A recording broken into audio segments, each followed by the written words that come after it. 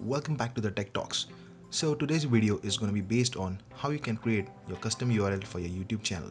Now this video is going to be based for my fellow YouTubers who have just started up their channel and have spent around a month in getting some subscribers onto their channel. So stay tuned.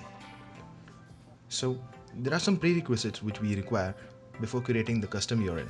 So you can head off to the googlesupport.com and under this section you can search for get a custom URL for your YouTube channel.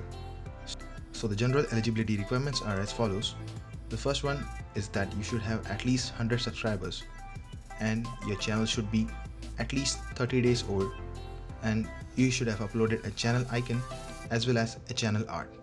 So this over here is the channel icon and this thing over here is the channel art. So these things are the prerequisites before setting up a custom URL for your YouTube channel. Next thing is that you should have your channel in a good standing, which means that there should not be any copyright status or there should not be any guideline issues in your channel. Once you have passed all these criteria, the next thing is to go down and search for custom URL and click on the enable button. Now under this section you'll find that you are eligible for a custom URL and claim it. So you can just click on this button. Now you can select what URL do you want to appear when a user visits your channel. So for example, the custom URL that the YouTube is giving me by default is youtube.com slash c slash the tech talks. So don't worry about this c, it will be removed by default when a channel is finally set up. So let us try to create this URL. So as you can see that this URL is already taken by someone else. So we need to alter this URL so I'll just type in channel and there you go. This URL is accepted by Google and no one is using this URL right now.